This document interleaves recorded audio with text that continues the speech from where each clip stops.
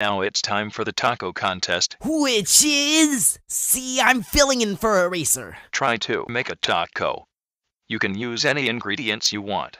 Go. Okay, so I'll need a tortilla, some lettuce, a tomato. Hey, Leafy! Why are you making such a big taco? So if anyone is having trouble making a taco themselves, I can lend some. Oh, so is it like you do it for me? Uh, I guess so. Yeah, I got myself a servant right here. Grr. So how much do I gotta pay? Two hundred fifty dollars. Well, what do you know?